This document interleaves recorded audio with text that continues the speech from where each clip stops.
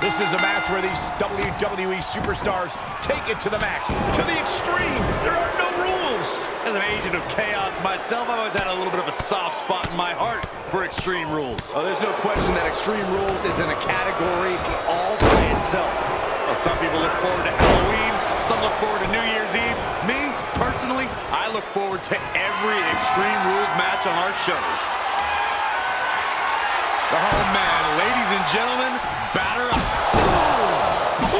And he's just having his way in this match. He's gaining the upper hand here. And that will do it. Not getting up from that one, so it's called. Here is your winner, Kirk Akane Holly.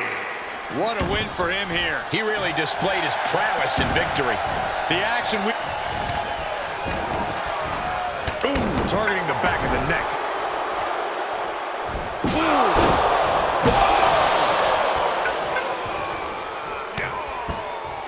Oh, and a stomp. Just despicable, menacing. Orton always has an answer, a plan. He needs to find that right now.